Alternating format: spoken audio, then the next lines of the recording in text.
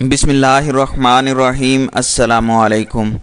بھارتی وزیر اعظم نریندر مودی کی انتظامیہ نے ملیشیا کے وزیر اعظم مہاتیر محمد کو حالیہ دورہ پاکستان کے موقع پر بھارت کی فضائی حدود سے پرواز کی اجازت نہیں دی تھی۔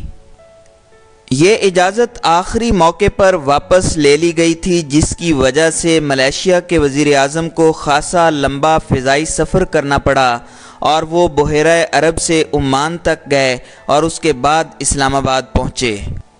عالمی تعلقات کے ماہرین کا کہنا ہے کہ اگر ایسا ہوا ہے تو بہت حیرت انگیز ہے، کیونکہ بھارت اور ملیشیا کے دوستانہ تعلقات کی کئی سالوں سے اچھی تاریخ رہی ہے۔ دونوں ممالک کے درمیان تجارت کا حجم دس ارب ڈالر سے زائد ہے جسے دو ہزار بیس تک ایک سو پچیس ارب ڈالر تک لے جانے کی امید کی جا رہی ہے۔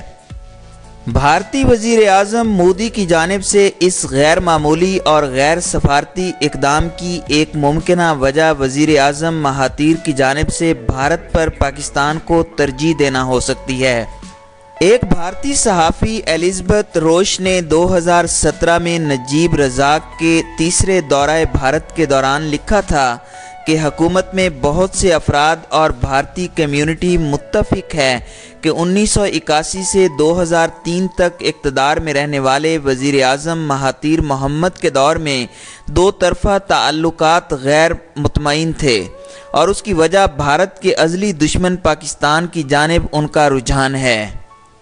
نجیب رزاق کی حکومت کے دوران ملیشیا اور بھارت کے تعلقات نئی اونچائیوں پر پہنچے۔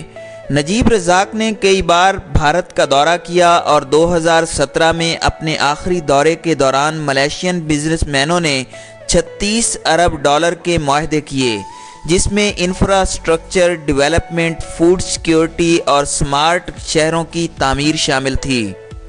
پاکستان کے ایک سینئر ریٹائرڈ سفارتکار نے کہا ہے کہ ایسا اقدام ان ممالک کے درمیان بہت ہی مشکل ہوتا ہے جو ایک دوسرے کے خلاف نہ ہوں۔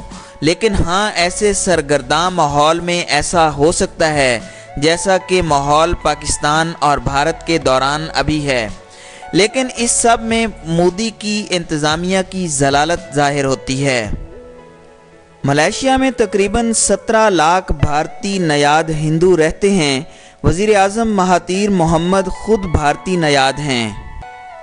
ان کے دادا سکندر کو برٹش ایسٹ انڈیا کمپنی اٹھارہ سو ستر میں کیرالا سے رائل پیلس بطور انگریزی زبان کے ٹیوٹر کے طور پر لے کر آئی تھی۔